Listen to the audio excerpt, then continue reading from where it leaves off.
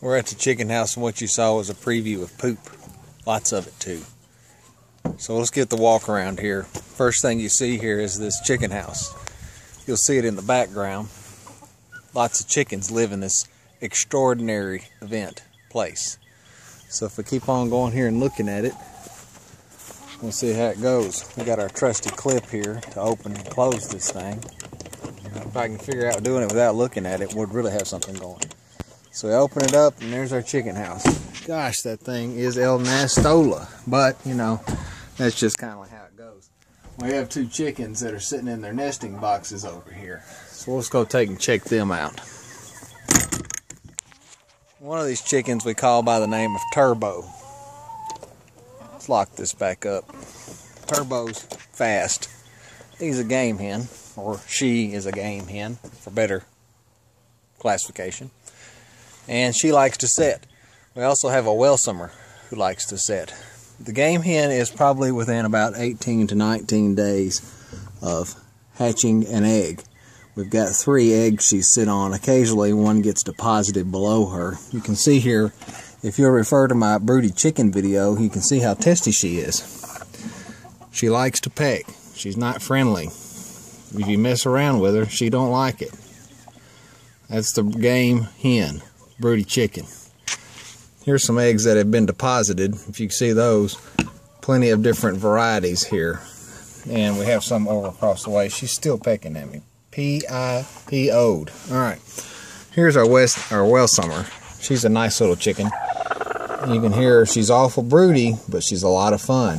She doesn't peck near as at all, but she sure is soft and she's fun to sit on. She's sitting this is I think her fourth day to be setting and probably on about six to eight eggs. And like I say, they deposit occasionally. So anyway, here goes with that.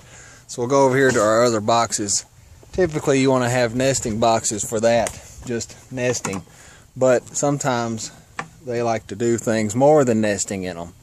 And this is where our roosters sit. So you got a poop box and then a couple of eggs laying in another poop box. I'll take those out. We'll put them over here in this little nesting box. They lay in here because the other two are occupied. We'll collect eggs tonight. Give you an inside bird's eye view of this little hut. And they seem to like it. They roost up top in all these sticks, crawl out during the day, and then they go down the ladder into their, their gathering area. As you see, there's no one in there right now, but that's just because we let them range. The neighbors seem not to mind. And while they range, we contribute. So typically about weekly, neighbors get eggs or as on a need needed basis. Uh, back to the house and then you see the bees over here. We'll talk about the bees, go in, and I'll give you a little view of that while we're here. Walking over to the bees, you see we have two hives. I lost four over the winter, so six to four, six to two. Four is a pretty good loss this small hive over here is doing okay. Not a lot, of activity going on, but you can see people are working and uh, there's just a couple over there. Then we'll go to this hive here where we have a lot of activity.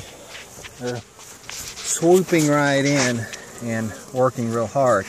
If you see the light, the little white packages on the sides of the bees, that is their pollen that they're taking in, which is pretty slick. Uh, they're gathering and foraging. So I think I have one that's mad at me. And when they typically get mad, you want to run away because he's trying to sting me, and did sting me. Well, I didn't get the stinger out. He was in this finger right here. Anyway, you should like that. Now I got two bees after me, and he's still pissed. I'll have to swing and swat till he goes on about his way. Typically, when they sting, they sting and sting till it's the end of them, and then they'll stay until they die. He's still flattening around. So, give you a bird's eye view of the neighborhood, uh, bird's eye view, and then the bee. Maybe he'll land on my hand because he's awful mad. Oh well. Enjoy the video.